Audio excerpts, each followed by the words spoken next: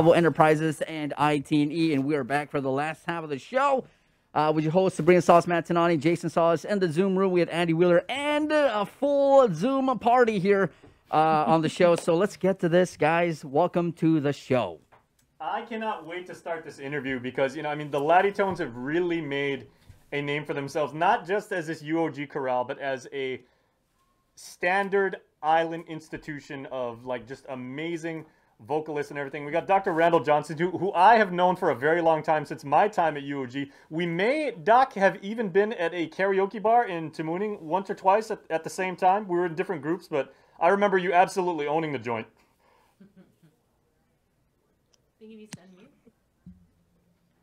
Was that a question directed towards me? yeah. yeah. So very fine work, obviously, that you're doing with the uh, the Latte Tones program over there. Um, and I'm I'm just really excited to see how you guys are going to do this concert, basically. Um, you know, for the for the enjoyment of the community, especially because you know there's so many people and so many musicians trying to have you know uh, performances and like you know can we do this remotely? Can we all sync up? Do we have to pre-record and everything? So um, tell us about you know what the what the lineup is and what the format is. Yeah yeah the uh, we actually have quite a few things going on but uh, but uh, just reiterating what you said about the difficulty which is uh, really at some level kind of fun with what you can do uh, by pre-recording things that you couldn't do live the band for instance um, we don't have a complete 18 piece band, but you don't need it if you're going to pre-record. So you just have you have you have one trombone player and he just plays all five trombone parts. So the band sounds maybe the best they've sounded in decades. It's really really quite and the, uh, I don't you know I don't think they should ever play live again. Uh, nice. We're, we're all about quality control here on the show. What's that?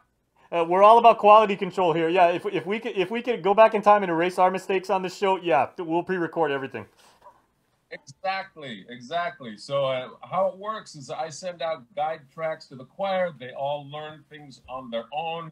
They send me back their parts with no background and noise in it, and that's difficult for for the members because they have to get away from their brothers and sisters and dogs and chickens and rain on the on the tin roof and traffic and and fire engines and uh, and try and find a place to record.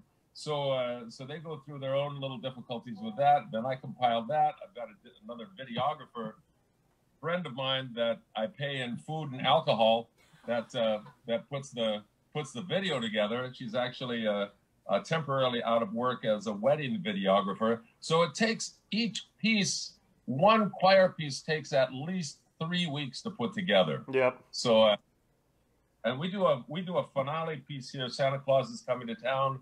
That is really fun because we have the the whole band, and then we have the the choir, and we even have some guest appearances at the end by Shelby uh, Weilbacher's little sister, which is the most charming little eight year old girl singing that that you'd ever want to hear. Uh, really, really super fun. Um, but quick rundown on what's going on, you know, on our our Q cubed. It's easier to say triple cubed or Q cubed or QQQ. Who can pronounce correctly the quarantine Christmas concert? quarantine Christmas concert. Christmas concert. And so it's it's lighthearted as it should be at this time of year. It's it's fun. We've got the choir for several pieces.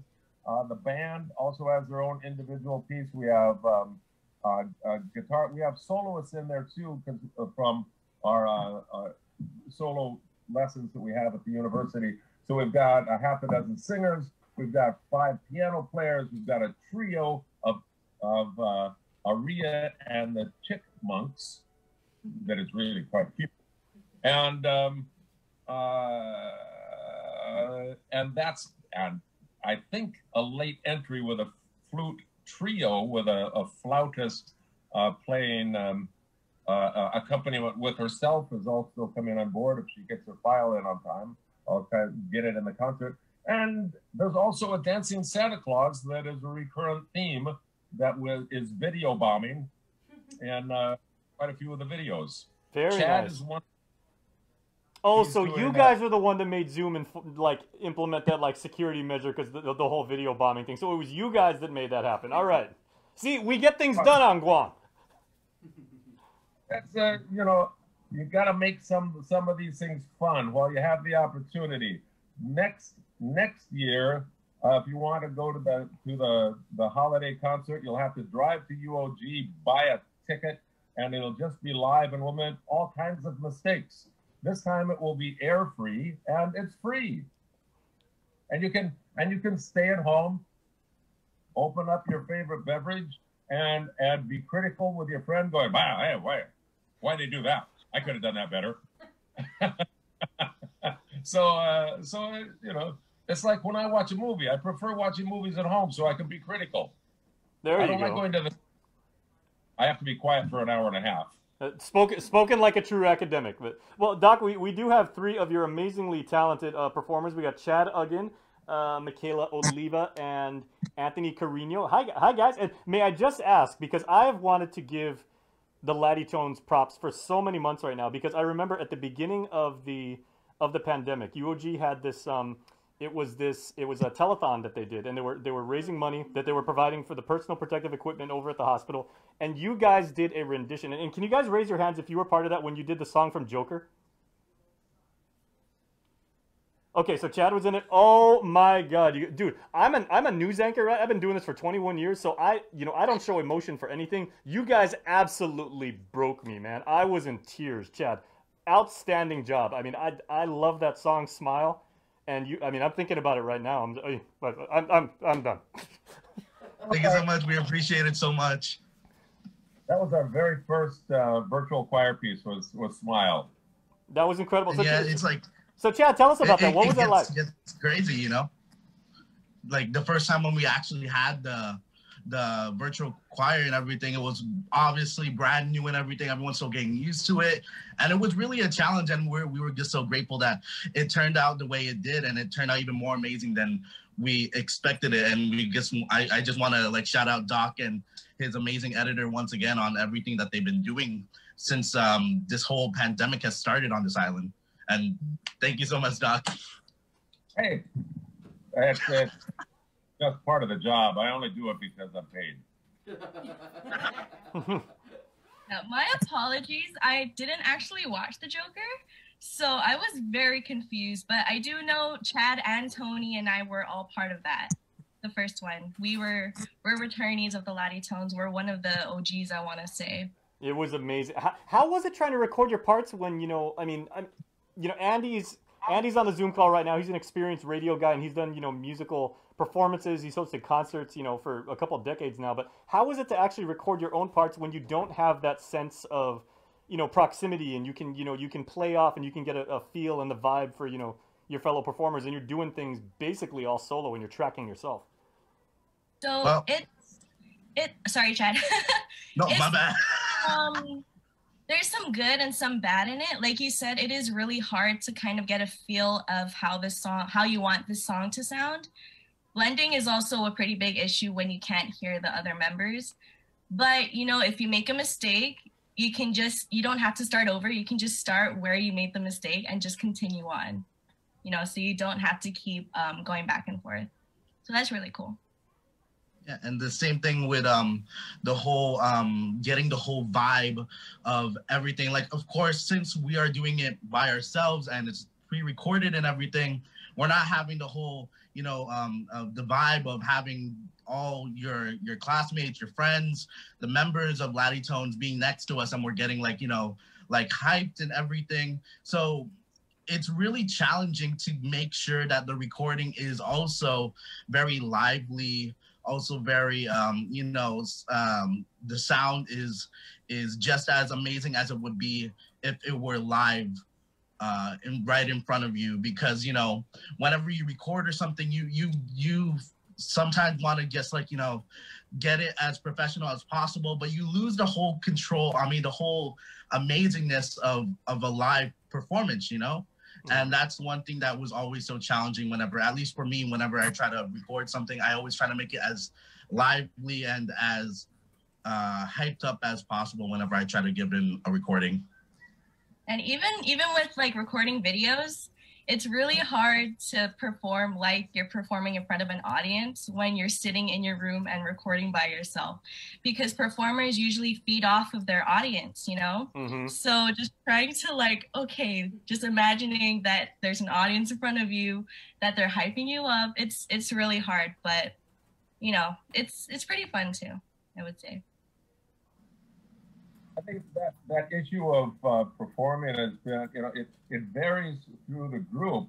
And these three these three students are, are very good about about performing and putting in energetic things. Uh, uh, you know, Michaela will even record. She once on one recording, she actually put a hose up on the roof and was and pretending it was raining and was dancing in the rain during part of a song where that was appropriate. Chad always kind of overacts, which is great because it on a uh, on the video you kind of need to show more energy i think so. But it's not universal through the group. I mean this is i'm adamant that we try and do creative things even in this kind of uh, weird condition that we're in now that, that the things you accomplish now through a little bit of difficulty will be more valuable for you later. And all these students have these recordings that they, they can show 10 years later and say when their kids say hey dad, hey mom, you know, what did you do during the great pandemic of 2022, depending on how long it goes. So, and some of the students have more difficulty with that because they're going through little bits of depression. You know, I have to call them up. Other students call them up. These these three help encourage other people to keep their attitude up, keep things keep things going, not crawl up and crawl in the corner of the room and wait until it's all over. So uh, it's it's it's it is challenging to keep every, uh, everybody's attitude going, and I'm really proud Let's, of you. uh, let's hear from Anthony here. Um, uh, get think your he's saving his perspective, voice for the Anthony, gig. on, uh, like Doc was saying, and Chad and Michaela, the challenges that come along with uh, pre-recording this.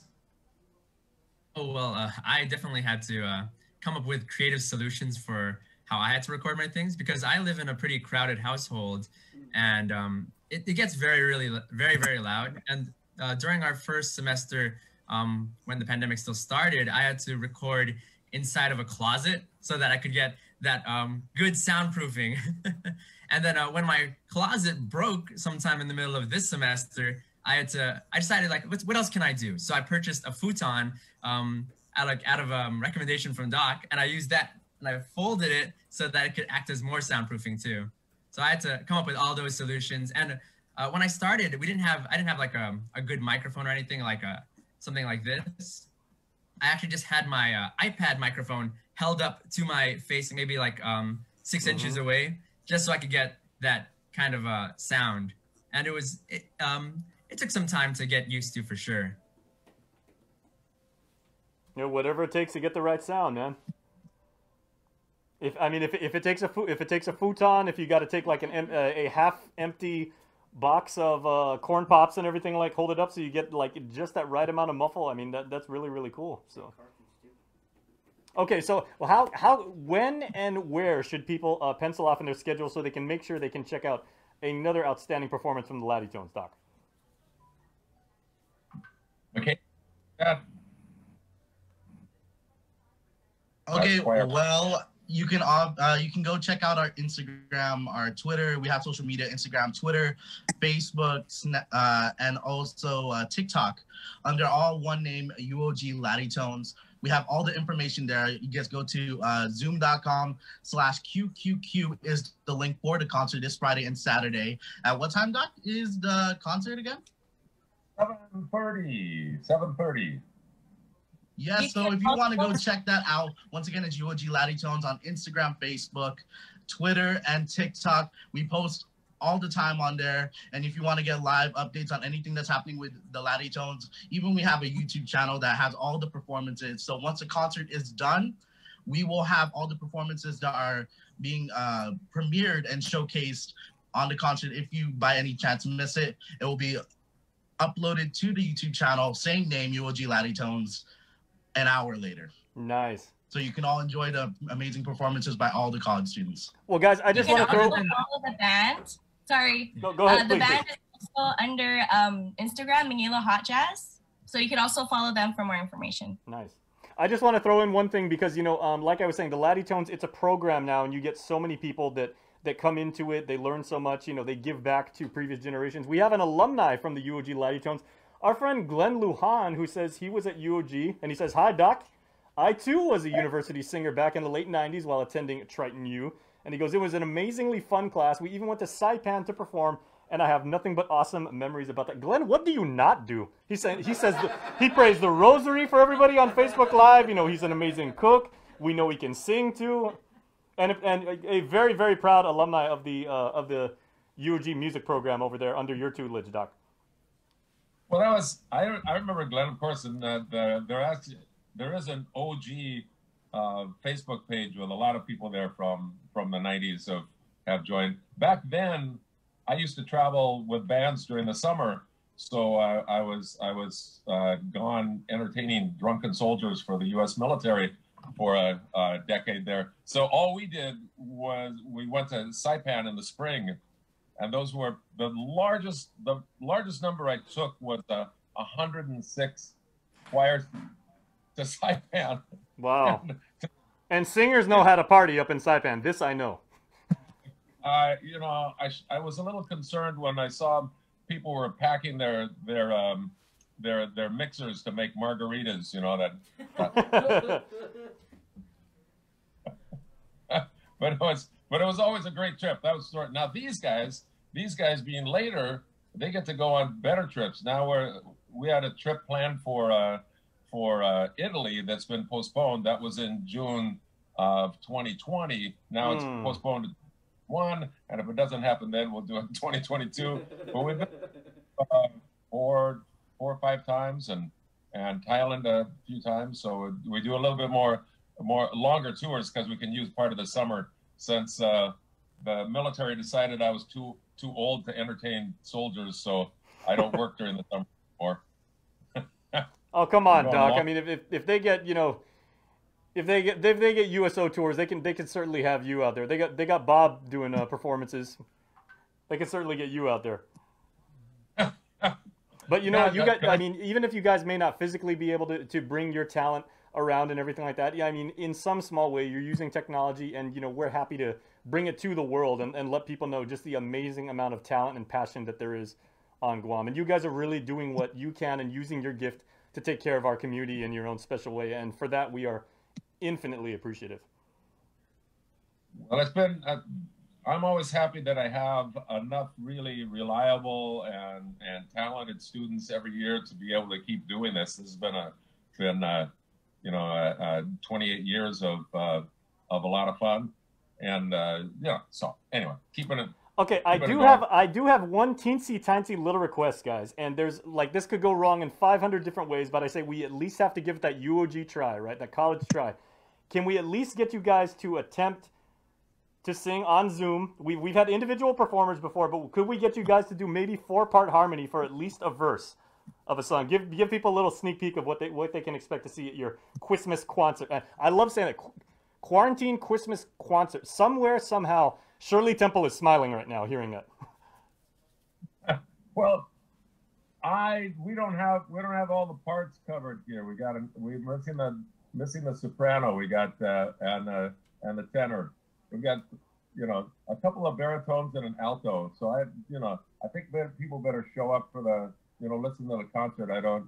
We've gotten so used to fixing all of our mistakes. Fair enough. You know, we've had a year, a year now of just being able to make mistakes uh, with impunity and fixing them electronically. So. Well, if, if it helps any, I mean, I'm 46 years old and I just went through puberty last year, so I might be able to still to do the soprano part, but you know, we never know. But I mean, totally respect the craft, though. I mean, you, you guys are either going to go all out or, or not at all, so I, I completely respect that. Andy's Andy's a great singer too. You know, we we actually did one of the Malafunkshun tunes. Um, uh, and and we brought that out with the group again. Um, My Island. Oh yeah, yeah, I remember that. Oh jeez. Fired this last year. It was good fun. Decades uh, ago.